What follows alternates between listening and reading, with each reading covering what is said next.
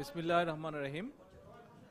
মাহমুদ আলী খান স্মৃতি সংসদ আয়োজিত আজকের এই অনুষ্ঠানে আমন্ত্রিত সকল অতিথিবৃন্দ, আসসালাম আলাইকুম।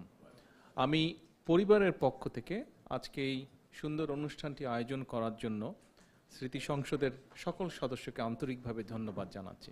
একই সাথে আমি ওলেমা মাসায়েক যারা এখানে আজকে উপস্থিত হয়েছেন, যারা আমাদেরকে বিভিন্ন ভালো কথাগুলো বলেছেন আমাদের ইসলাম ধর্ম সম্পর্কে যারা দোয়া করেছেন মরহুমের আত্মার জন্য এবং একই সাথে বিভিন্ন মানুষ যারা আজকে আমাদের সাথে নেই, যা সকলের জন্য দোয়া করেছেন, আমি তাদেরকেও পরিবারের সকলের পক্ষ থেকে আন্তরিকভাবে ধন্যবাদ জানাচ্ছি। আবারও আপনাদের সকলকে আন্তরিকভাবে ধন্যবাদ জানিয়ে আমার বক্তব্য শেষ করছি। আসসালামু আলাইকুম।